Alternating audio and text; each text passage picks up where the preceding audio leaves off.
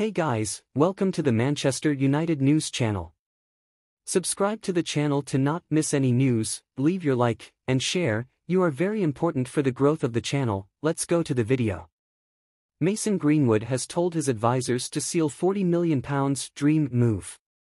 Mason Greenwood has reportedly expressed to his advisors that securing a summer transfer to Barcelona is his dream. After the decision that he would not be part of Manchester United's immediate plans, the former England international was sent on loan to Getafe in Spain. This move followed the withdrawal of criminal charges for attempted rape, assault, and coercive control against him, with the 22-year-old vehemently denying all accusations. The Catalan Giants have maintained a long-standing interest in Greenwood, and rumours in late December hinted at a possible £40 million bid for the out-of-favour Manchester United player.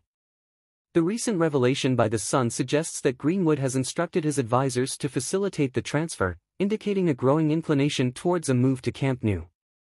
A source shared with The Sun, Barcelona wants to sign Greenwood, and he wants to move there. The next step is for the clubs to come to an agreement. Manchester United is keen to sell the player, and the manager has accepted that Greenwood won't be returning. The prevailing view is that it is in the best interest of all parties to have a clean break. Despite Greenwood's talent, a return to the club during the start of a new chapter, with new owners, is seen as a step backward. A potential deal with Barcelona is expected to include various add-ons based on the number of games Greenwood plays for them and possibly for England as well.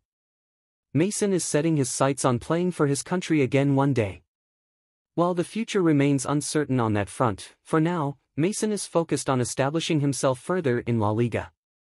He made a strong start at Getafe and caught the attention of Barcelona, who believe he can contribute to their success in domestic and European competitions, making him an exciting signing for their fans. Scouts have reportedly watched him six times this season, and the feedback has been overwhelmingly positive. Despite reported interest from Real Sociedad and Valencia, it appears that Barcelona has taken the lead in the pursuit of the England star. Thank you all for watching, subscribe to the channel to not miss anything, leave your like and your comment, that is very important for the channel growth. Until the next video.